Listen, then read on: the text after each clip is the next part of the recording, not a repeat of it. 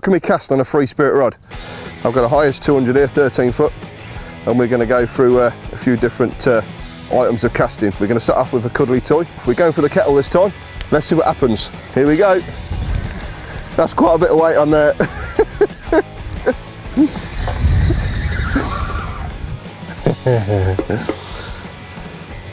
it's coming in at about three pound. So I don't recommend this at home. It's, but it's going to be good fun. Here we go, you ready? Yeah, five and a half pounds. Are you nervous about that one? Nah. The Breville toaster's coming in at five and a half pounds in weight. So we shall see. Don't try this at home. ready? Oh, I can't believe it. that is quality.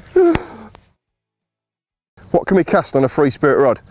I've got a Hi-S 200 here, 13 foot, and we're going to go through uh, a few different uh, items of casting. We're going to start off with a cuddly toy, and then we're going to move on to a small hoover, a kettle, a frying pan, an iron, and even a, a toaster. So we're just going to see what happens and uh, hope you enjoy. Catch you in a minute. Right, here we go with a cuddly toy.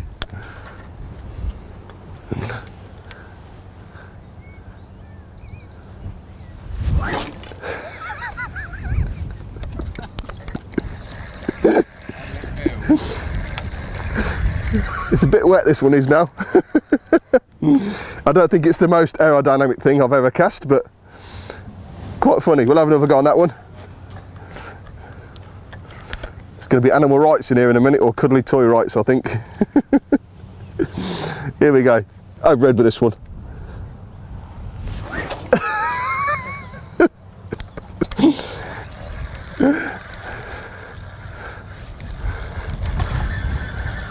That's the cuddly toy.